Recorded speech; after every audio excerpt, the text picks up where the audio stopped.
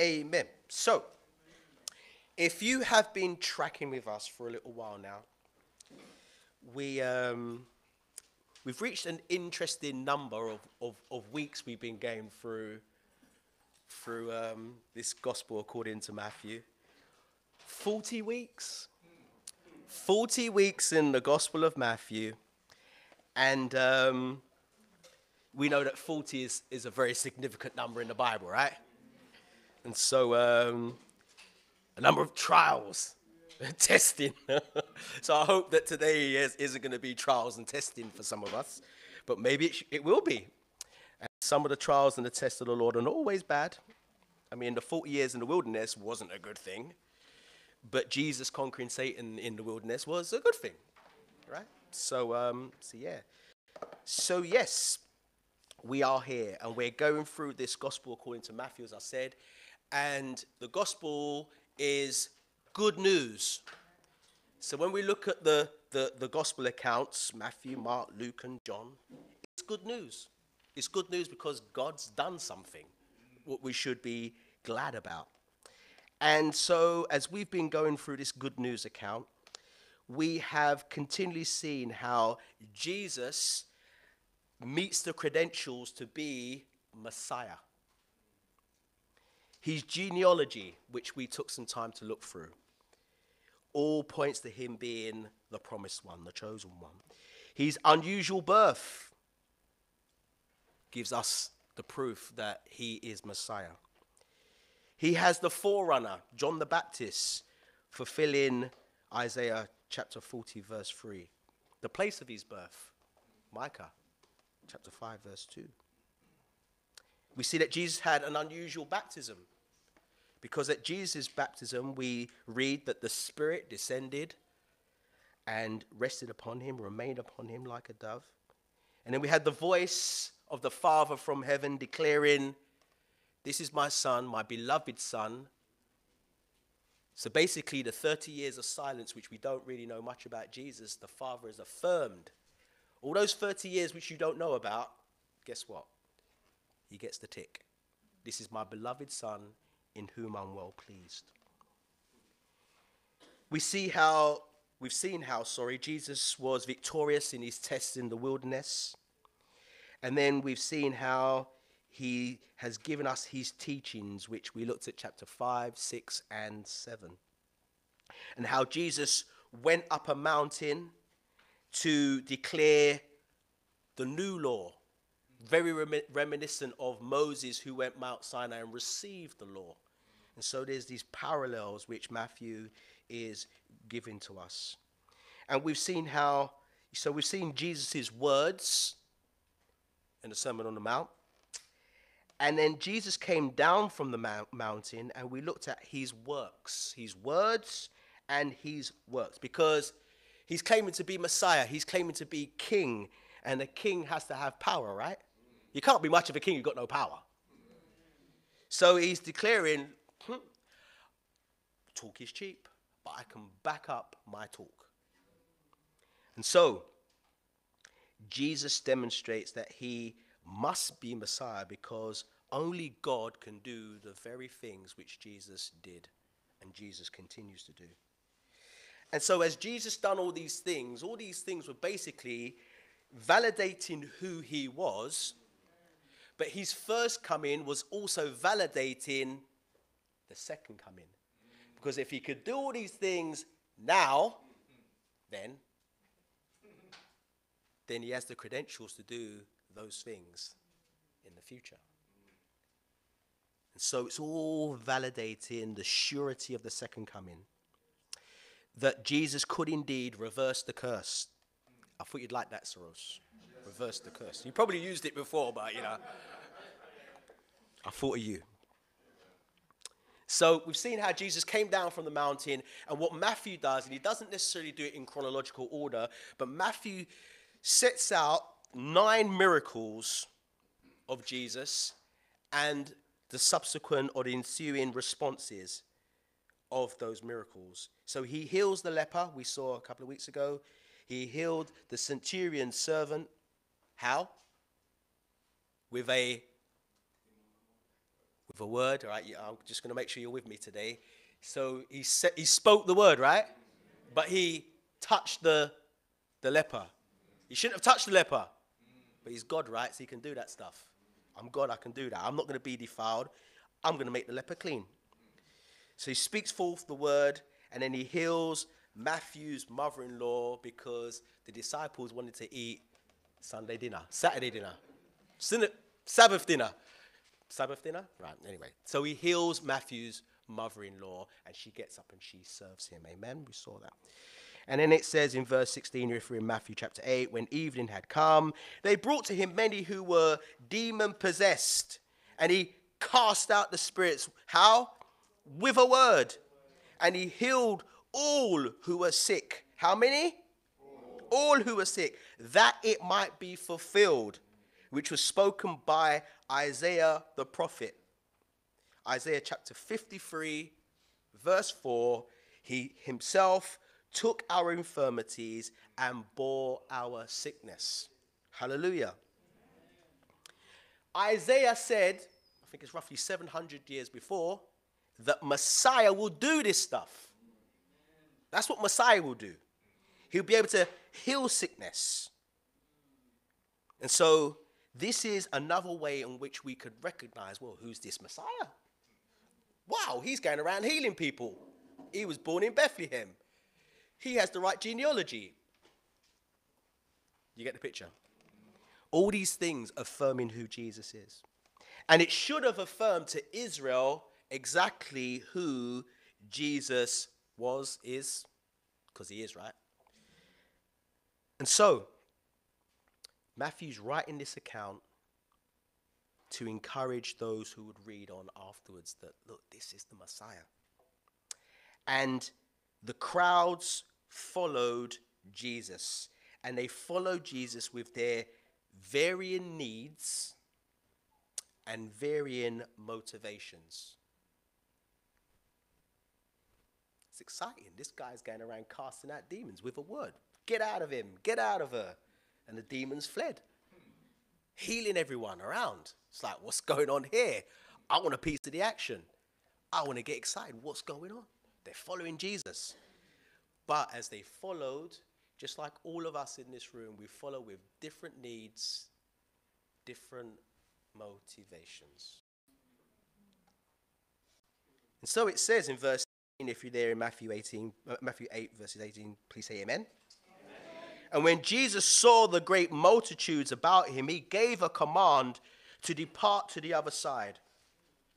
Then a certain scribe came and said to him, Teacher, I will follow you wherever you go. and Jesus said to him, Foxes have holes, and birds of the air have nests, but the Son of Man has nowhere to lay his head. Then another of his disciples said to him, Lord, let, let me first go and bury my father. But Jesus said to him, Follow me and let the dead bury their own dead. So, backtracking. Jesus decided to leave the current location of Capernaum and he wanted to go to the other side of the Sea of Galilee, which is important to the story. So have that in the back of your mind, right? Jesus saw great multitudes about him. He gave a command to depart to the other side. Now, exactly who Jesus gave the command to is not abundantly clear from the text, but we can presume that it was at least Peter, James, John, and Andrew who are going to be part of this crew in this boat. Remember last week I said next week we're going to look at Jesus going on a boat trip. We're not, going, we're not there just yet, but we're going to get there, right? So they were in this boat, part of the crew, at least then. But it says in verse 19 that before they could set sail to get on their journey, it says, Then a certain scribe came and said to him, So this is a certain scribe, he's not mentioned by name, but he came to Jesus, and being a scribe, we know that he was a person of influence. Scribes were like the lawyers because they were the ones who wrote down the scriptures. And because my dad used to always say to me, Once written, twice read. Once written, twice read. So you're writing it down. So as you're writing it down, you're, you're reading it twice. But he's that's his job. He's writing it down. So familiar with the law, right? Scribes. And so being a scribe, you know, we, we, we know that he was a person of influence. And we're assuming that this scribe had obviously been listening intently to the Lord's teachings. And so he was impressed by Jesus. So much so that he says, Teacher. Okay, that's a good thing, right? He's showing respect to Jesus. He's calling him teacher. And he continues and he says, I will follow you wherever you go. Big talk, right? The scribe was basically saying, I want to be committed to you, Jesus. I want to follow you. And he adds, wherever you go. And it all sounds nice. And it made me think that generally, when we hear someone say something like this, like, I want to follow you, Jesus, I want to give my life to you, Lord, we all get happy, we all get gassed because someone's decided to follow Jesus.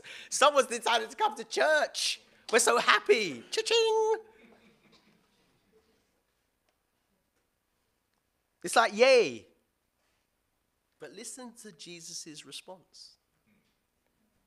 Jesus doesn't get gassed. Jesus isn't so quick to get all happy, happy, happy, happy, happy. Because someone's decided, oh, they're going to come to church today. Because somebody says, I want to follow Jesus. Talk is cheap. Don't talk the talk if you're not prepared to. Roast, that's another one for you. Sorry, my G. Jesus isn't so quick to be all happy, happy, happy. Jesus said to him, Foxes have holes, and birds of the air have nests, but the Son of Man has nowhere to lay his head. And it's like, Jesus, that's just random. What does that mean? I mean, am I the only one who re- read that and thought, Jesus, what does that mean? Like, what are you talking about? You all are, all are students of the word, so you guys know. I know. I just had to study it. Foxes have holes, and the birds of the air have nests, but the Son of Man has nowhere to lay his head. So Jesus responds with to describe by using a, a Jewish idiom which means that the basic comforts which anyone has in life, like shelter. Foxes, guess what? They have holes for shelter. Birds of the air, they have nests for shelter. Because this earthly environment was created for foxes to have holes, birds to have nests. But the Son of Man the earth was not his natural environment. It's not his natural environment. Jesus was on mission in planet Earth. It's a bit like heaven is my throne and the earth is my, my footstool. I wasn't, I'm not out here and, hev- and, earth is my ho- and the earth is my home. It's my unnatural environment. The Son of Man and he says the Son of Man. It's the first time we see the Son of Man be Jesus using that for himself. And the Son of Man is a reference to Daniel. I think it's Daniel chapter seven, right? Son of Man. So, you know, Son of Man. Jesus. It's like his, his favorite messianic name for himself. He used for himself, and he says the Son of Man has nowhere to lay his head. Now, the word lay here is klino. Not krino, klino. It's a very interesting word, klino, because it means to lay or to bow, to rest. It means that, right? And the only other time that this word klino is used with reference to Jesus is when the Lord klino, no, klino his head and gave up the spirit on the cross. Very interesting. The earth wasn't his natural environment. But when he was going to be within his natural environment, if I can say it like that without being heretical, he bowed his head. You see it there? Did you catch that? And so Jesus didn't have a home of his own. Jesus didn't own property. As I said, his life and mission didn't afford these earthly luxuries. And so he's saying that if anyone desired to follow him, they will not be guaranteed these basic needs either. It's not a guarantee. You may have it, you may not have it. It's not a guarantee. And so Jesus looked at the real issue of this man's heart because Jesus can do stuff like that. You can look at your heart and know exactly what motivates you, what you're really all about. We can fool each other, but you can't fool the Lord, right? And he knew that for this certain scribe, he was being too fast in, in making a decision about Jesus. You're being too fast. And Jesus could look at his life and he knew that the scribe basically looked at his own life and thought, I have all I need. I have all my comforts. I have position, power, wealth, respect. And now I have a great teacher who I can listen to and follow. And it's like Jesus was just another thing he added on to his list.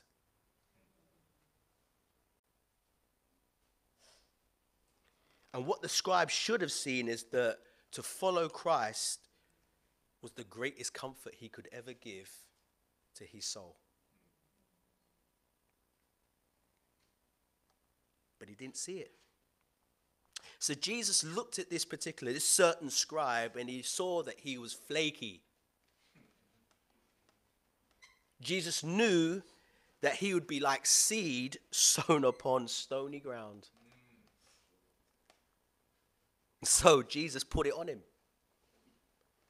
Jesus put it on him and tells him, You're not serious. You're not ready to count the cost to be my disciple. It's a bit like when Jesus said to, to the disciples, Unless you eat my flesh and, and drink my blood, guess what? You can have no part of me. And it says, Many departed from him on that day. Even the disciples are like, well, the, the, the 12 are like, wow, that's a bit hard.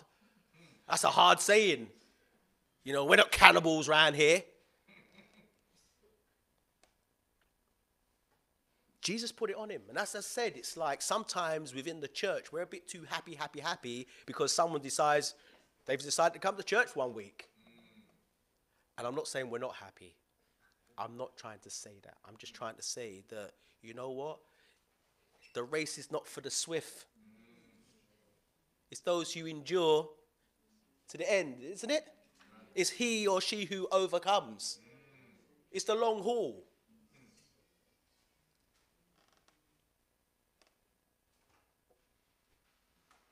So Jesus says to him, You're not serious.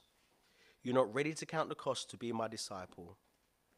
And the text doesn't say it, but the general consensus is that he chose not to follow Jesus.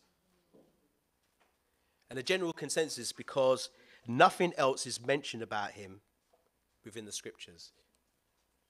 And so the scribe was too hasty.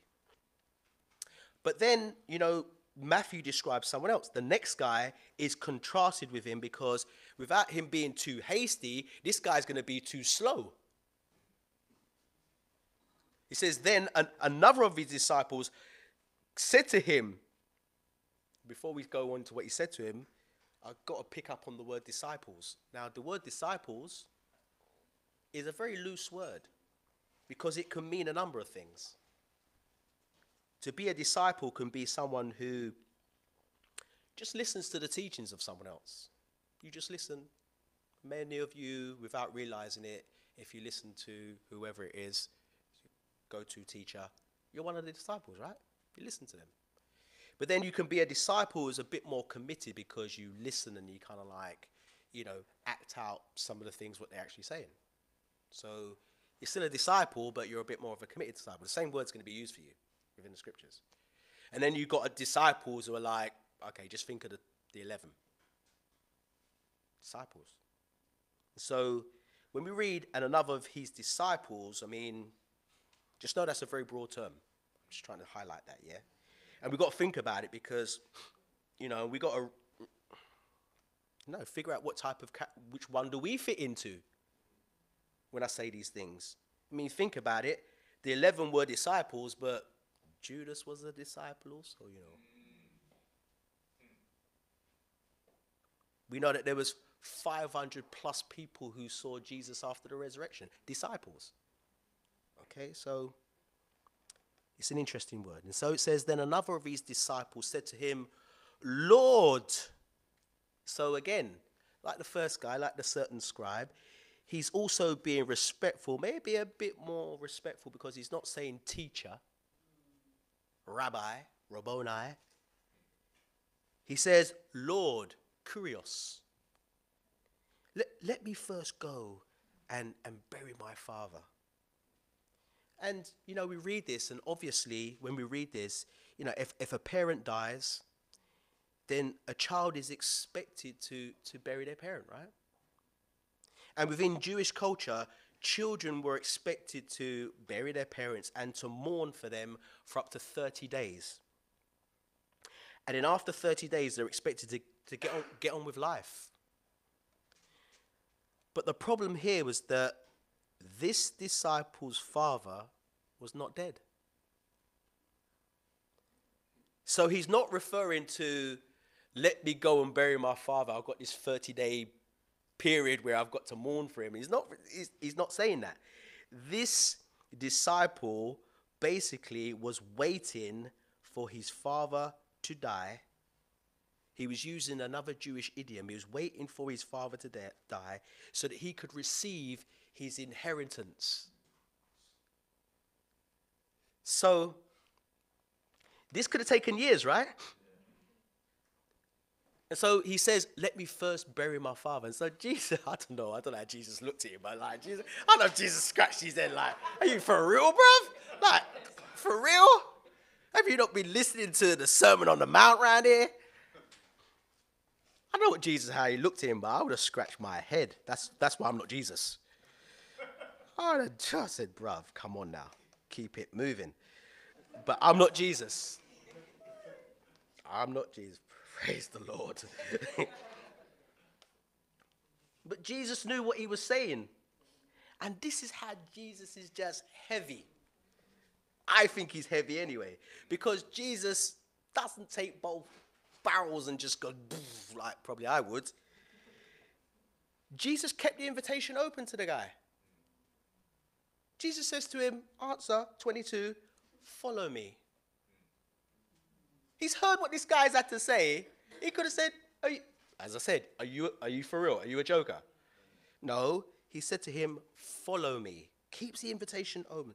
You know, and I, I, I suppose he says this to challenge him to see if he is actually willing to pay the price of true discipleship. Are you willing to pay that price? So, so Jesus said to him, You've obviously been listening to some of my stuff. You you obviously consider there's something different about me. You're probably impressed by me, right? Now, I want to give you an opportunity, this very thing you see in me, to declare it to others. Because, I say this because in Luke's account, it says Jesus said to him, Let the dead bury their own dead, but you, you go and preach the kingdom of God. That's what he says. That's the bigger picture. So Jesus is like, I've got a mission for you, for you to go and preach the kingdom. But you're telling me about you've got to bury your father. Okay. And that's why he says, But you go your way. So Jesus is saying to him, Follow me. Basically, follow me. When he says, Let the dead bury the dead, he says, Basically, follow me and don't get hung up around basically waiting for what was he waiting for? He's waiting for death. You're waiting for death. Waiting for your father to die. That's what you're waiting for. I mean, come on. Why not be about the business of declaring life instead of waiting for death? Let the dead bury their own dead. Let the spiritually dead bury the physical dead. Let natural things deal with and take care of natural things. But you, you come and preach life. That was the challenge he set before him. In Luke's account, it con- continues to say, and another also said, Lord, what's that word? Kurios. Lord, I will follow you. But let me, no, sorry, yeah, but let me first go and bid them farewell who are at my house. But Jesus said to him, No one having put his hand to the plow and starts doing this looking back stuff is fit for the kingdom.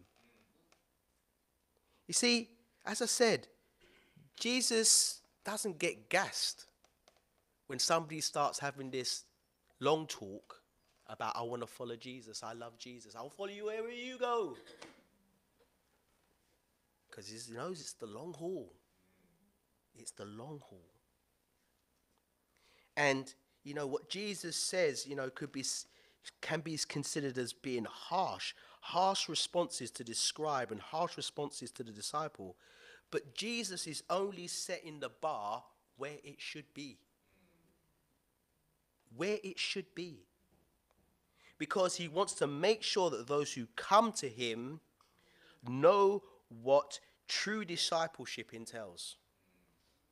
And that they have counted the cost. No man goes to war without first, maybe Putin didn't count the cost, right?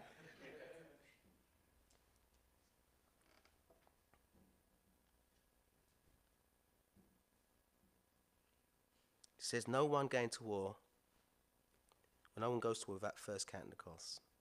And, you know, I, I, I suppose Jesus, he kind of like sets the, the bar high because, you know, Jesus is not going to take any pleasure in saying on that future day. We speak about that a lot, right? I never knew you. Depart from me, you who practice lawlessness. Jesus isn't going to take pleasure in saying that. Because people said, I love you, Lord, I'll follow you. Really? Show me the evidence. So Jesus is looking for full surrender.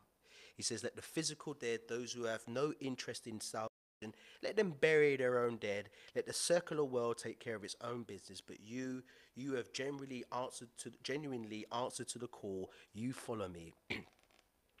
and again, the general consensus: this man also went away, you know, went on his way because we do not read in the next verse, and he left all to follow Christ. And so, after this, and this is me reading into the text. This isn't the text. I kind of like,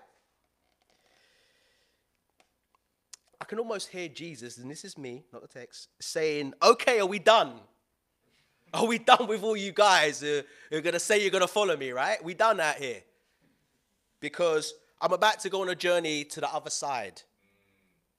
And the thing is, when we look at what happens in the journey on the other side, you pretty much needed to be serious whether you wanted to follow Jesus or not.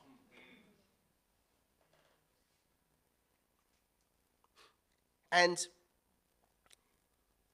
Jesus is almost saying, I don't want you to be either too fast to make a decision about me, or slow to make a decision about me. Just be right on time.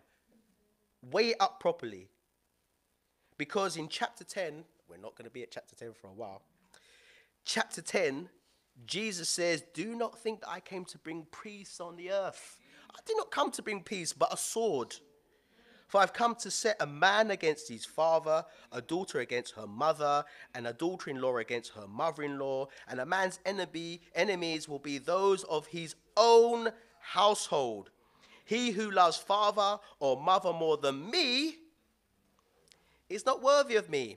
And he who loves son or daughter more than me is not worthy of me. And he who does not take up his cross and follow me after me is not worthy of me. He who finds his life will lose it, and he who loses his life for my sake will find it. He who receives you, guess what? Receives me. And he who receives me receives him who sent me. You see, powerful. But Jesus is putting a line in the sand. The line's there. You can, the invitation goes out to whosoever will, right? But there's a, there's a cost.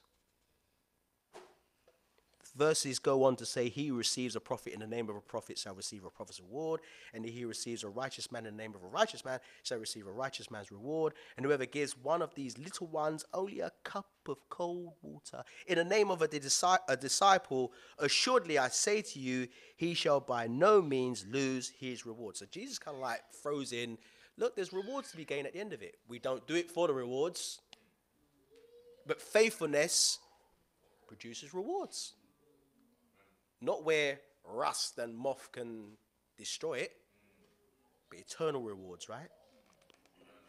So again, I'm saying Jesus sets the bar not high, but at the right place. And again, because as we will see, those who choose to continue follow Jesus on that particular day would experience a storm. So we're going to get to the boat trip soon, right? Will experience a storm, and again, Matthew, Mark, and Luke all record this story. God likes repetition, right? And if he hits something once, twice, three times, there's a clue, right? He wants you to listen. So, and also the scripture says that the mouth of two or three witnesses let a matter be established, right? So, what does this story tell us about? It tells us that believers will go through storms. We're either going into one, going through one, or just coming out of one. Storms. But we have to remember, I said it at the very beginning, right? Verse 18. What was the command? The command was, let's go to the other side. That's the command, right? You following? Say amen because I want to know you're with me. That wasn't a strong amen. One more time. Amen. All right, cool. I feel a bit better now. I know it's not about me, but I do feel a bit better. So it says, verse 23 Now, when he got into a boat, so here's the boat trip, his disciples the ones who thought that they could hack it, right? Not too slow, not too fast. They followed him. And as they journeyed to the other side, we got to have in our minds that they journeyed to the other side in obedience. They're in obedience. It's not disobedience, it's obedience. I've given you the command, we're going where? Right, they're in obedience, right? And there would have been sort of like small boats following the Lord's boat to the other side. And it says, verse 24, and suddenly a great tempest arose on the sea, so that the boat was covered with the waves. So this was a bad storm. And if anybody's been on a boat trip when there's been a bad storm and it's.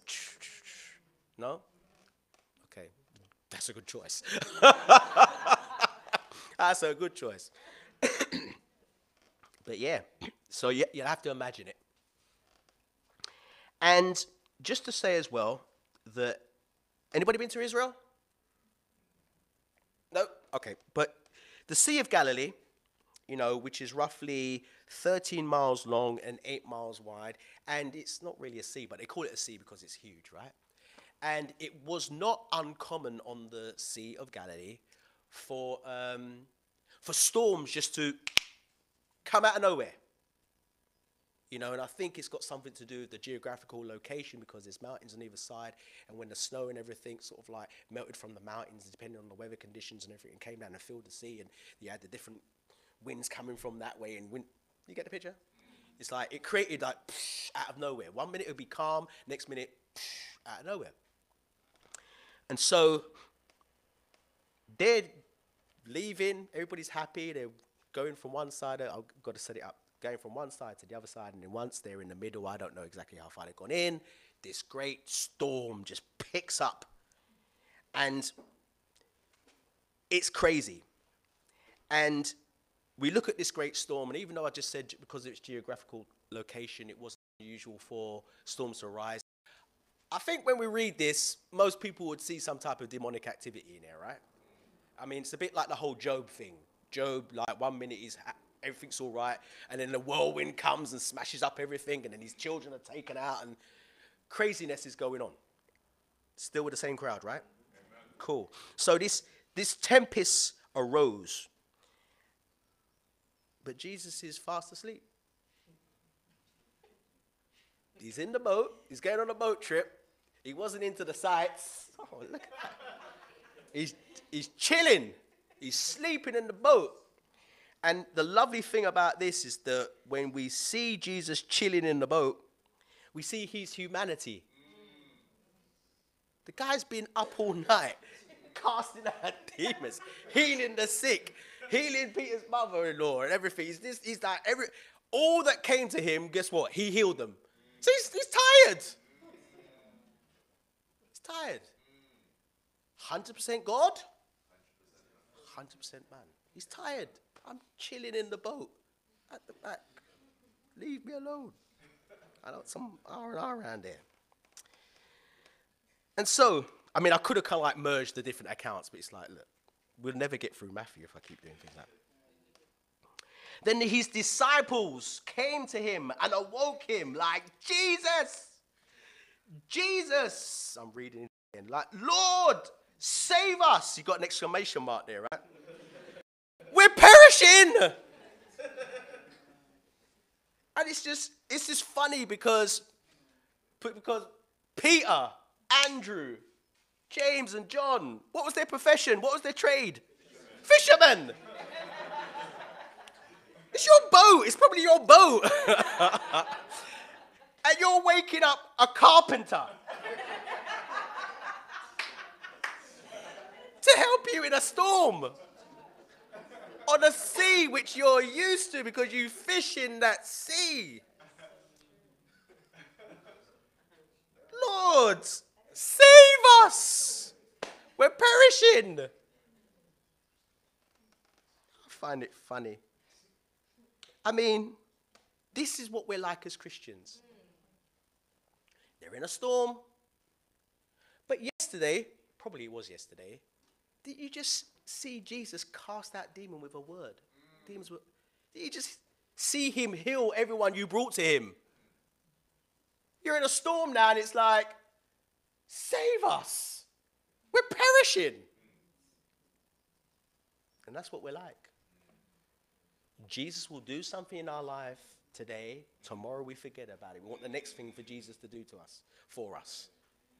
Forget about the things which he's done for us in the past. And that's why Jesus, that's why Yahweh used to always say, put down a couple of stones over there, memorial stones. So when you look at those stones, you remember what I did, right? Re- remember to have these feasts every year because these feasts celebrate what happened back then. I want to, you to re- remember what happened back then. See, we forget about the most milestones in our life. What have you done for me lately, Jesus? That's the attitude we do have as believers. And it's, and it's not right. And so, they must, they've forgotten about the leper. They forgot about speaking the word to the centurion's servant. They forgot about Peter's mother. They forgot about all those people, the demons being cast out. Because as far as they were, they were concerned, they were in desperation. And in times of desperation, it will reveal exactly what type of relationship you and I have with Jesus. Just let me put you in a situation. Just let the Lord put me in a situation, and then we will see what we're made of. Do we really believe in this stuff? Or is it, yeah, I believe the Bible says, but the Lord doesn't know my situation. The Lord doesn't understand what I'm going through. Oh, really? Really? I remember having a conversation with a parent here one time, and I said, like, we was talking about something. I said, "You believe God's word is true? Yeah, reliable? Yeah. Okay, cool. But what about God's word says this? Oh, yeah, yeah, yeah. But you can't use that." And I was like, "But we just agreed that God's word was true and reliable." And it was like, "No, no, no, no, no, no." I can't remember the context, but I just thought you can't have this wishy-washy approach to the word. It either is true or it's not true. And if it's not true, keep it moving, do your thing. But if it is true, the kingdom of God has come upon us. Hallelujah. So Jesus said, verse 26, but he said to them, Why are you fearful? In a way, it's like, don't you remember verse 18? They did have verses in there. You get the gist, right? I gave the command to depart to go to the other side. And so Jesus was basically, you know, we, I say this all the time Jesus doesn't promise us an easy journey through life. He doesn't. But what he does promise is that he will get us to the other side.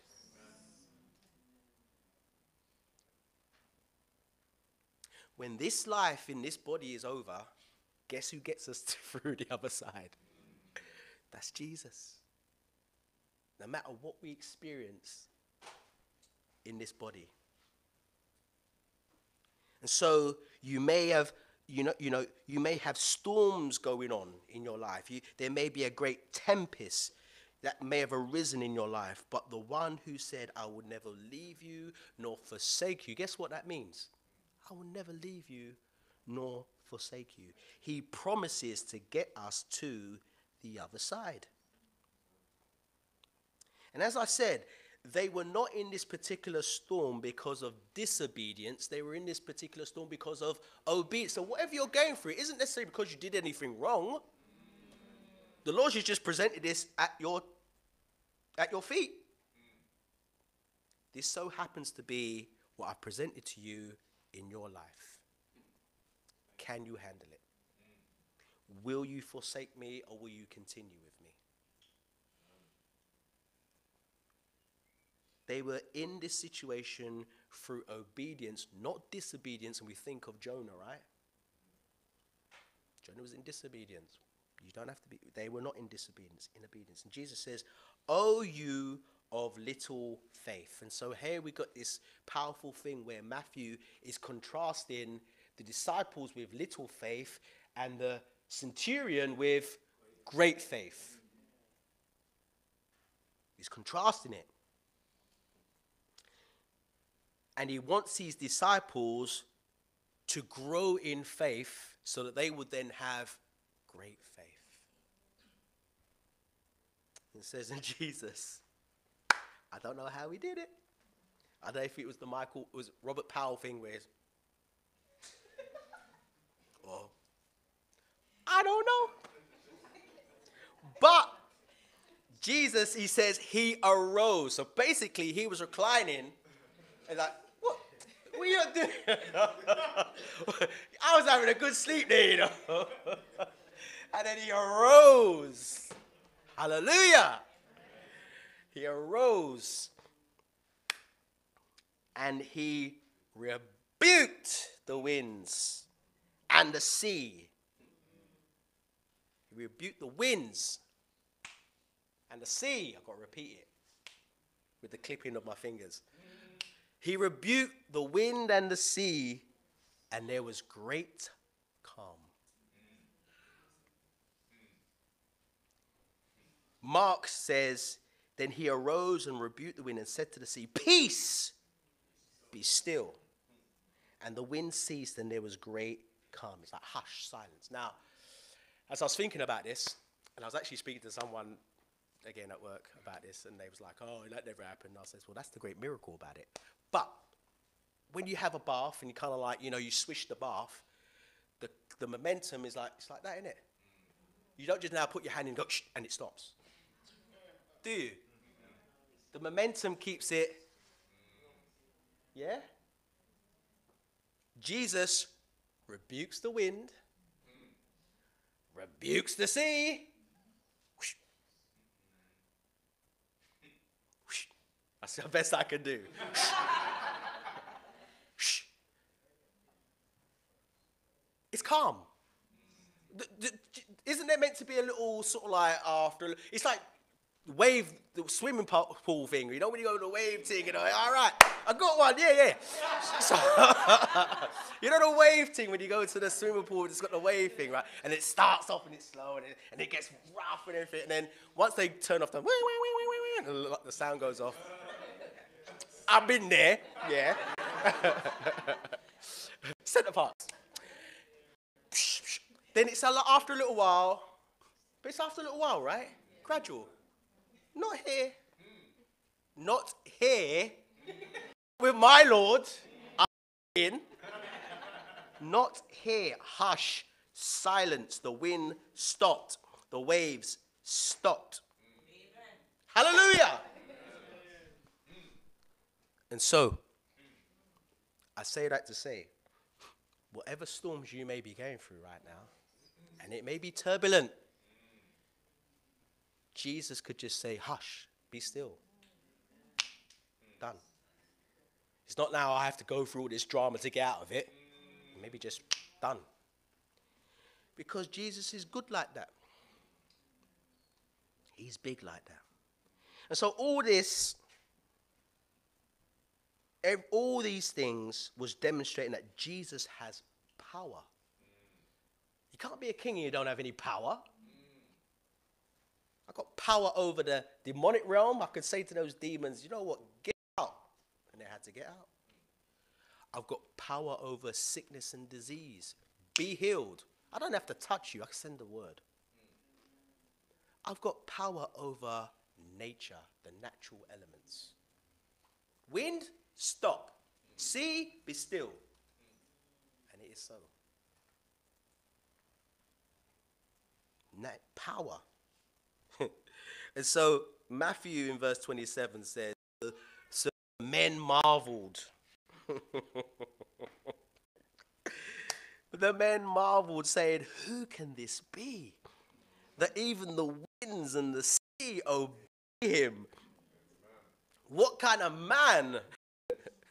Because this is more than a man, you know. What kind of man can this be? Mark's account says, and they feared exceedingly. I like that word exceedingly. They feared, they didn't just fear. They feared exceedingly and said to one another, they're not even saying it to him, you know, they're like, who could this be? Know, see what just done? Did you see that? I'm sorry. And they feared. They were more afraid of Jesus than beating that storm. Because they realized, oh my goodness. We saw Jesus do stuff, but he's just done stuff. he's done stuff. Who could this be? And so basically, they were like, oh my goodness, this is a bit scary. Not scary bad, scary good. But they feared exceedingly. So, in closing, just to reiterate, you know, Jesus is always looking for true disciples. He doesn't want us to be too fast, too slow. He wants us to really count the cost. He's the only one with the words of life. So ultimately, you can't really go anywhere else. But it's a choice which everyone has to make for themselves. And as we journey through life, we make that choice to follow Jesus and we journey through life, then we're not guaranteed that everything would just be, that saying, a bed of roses. I mean, I don't even know what that saying me- means, but roses look beautiful, right? But the, the stems are all prickly, right? So life is, what does that mean? I don't know, someone could tell me afterwards. So life is beautiful, but it has its pricks, right? Because if you if you get pricked by one of those rose, they hurt. They hurt. Yeah. I know what I meant there. But anyway, we may go through storms. It's more likely that we will go through storms than not go through storms. And we may be going through storms not through disobedience because the Lord indeed led us into that storm because he wants to produce character. He's more interested in our character than he is in our comfort. You know, but again, not to go too far into this, but modern Christianity is more is more interested in comfort than character. And so, whatever situation we may be going through, just know Jesus is not sleeping. He's not asleep. And even if he is asleep, he's in control. He's in control. And he will bring calm. In the desired time, which is appointed for you, he will bring that calm into your life, into my life. Amen. Amen. Amen. Shall we pray?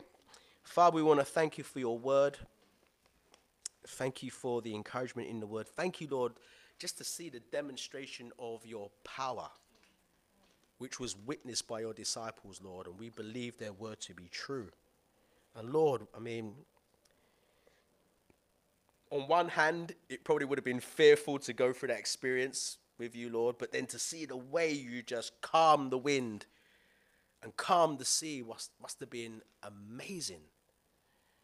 But Lord, you, you, you do those things in our lives even today. You bring calm. And we thank you for that calm, Lord.